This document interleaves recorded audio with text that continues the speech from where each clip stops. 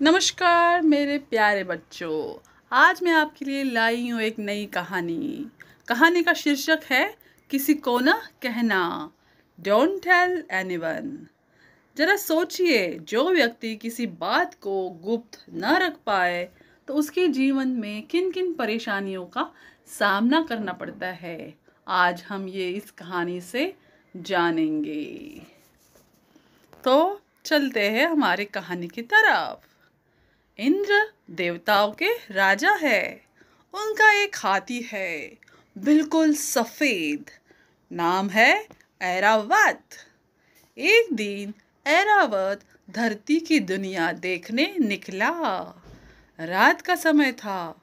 वह एक गन्ने के खेत में उतरा। लगा गन्ने खाने।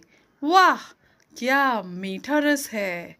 और ऐरावत ढेर सारे गन्ने खा गया। सुबह हुई। किसान ने खेत देखा और लगा चिल्लाने कौन मेरे गन्ने खा गया?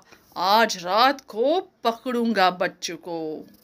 वह घर गया और मोटा रस्सा लेकर रात को खेत में आ गया। सूरज ढलते ही ऐरावत आसमान से उतरा।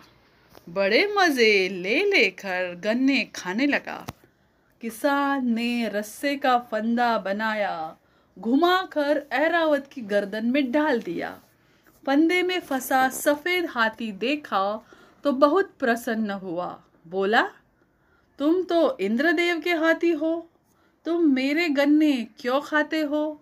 क्या तुम्हारे यहाँ खाने को और कुछ नहीं मिलता?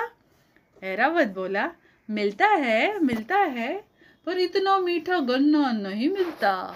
सेब मिलते हैं।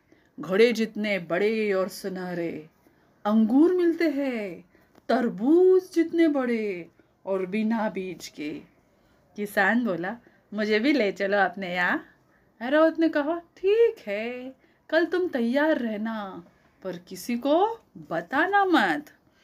किसान घर गया तो सोचा, माँ को बता दूँ। बिना बताए गया तो माँ चिंता करेगी। माँ ने सुना तो बोली मैं भी शायद चलूँगी।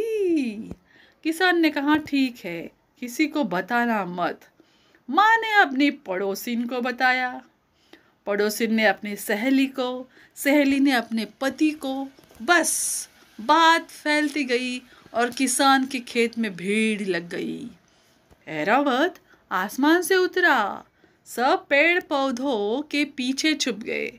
किसान को देख ऐरावत बोला मेरी पूछ पकड़ लो। किसान बड़ा सा थैला लेकर पूछ पकड़ने लगा।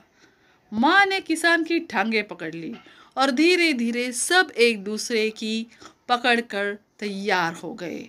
ऐरावत उड़ा तो लोग भी उड़ने लगे। ऐरावत बोला, किसान भाई, थैला क्यों लाए हो? किसान बोला, थैले में घड़े जितने बड़े सेब और तरबूज जितने बड़े अंगूर भर कर लाऊँगा। ऐरावत ने फिर पूछा, कितने बड़े? किसान ने पूछ छोड़कर हाथों से दिखाना चाहा। बस, फिर क्या था? धाम धाम धाम धाम धाम अगले ही पल सब धरती पर लौट रहे थे।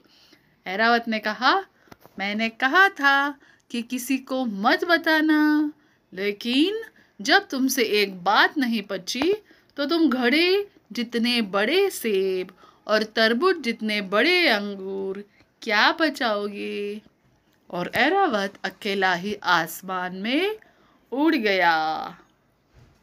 तो दोस्तों, हमें इस कहानी से क्या सीख मिलती है? अगर आपको कहिए कि कोई बात गुप्त रखनी है तो गुप्त रखो। उसका विश्वास मत तोड़ो।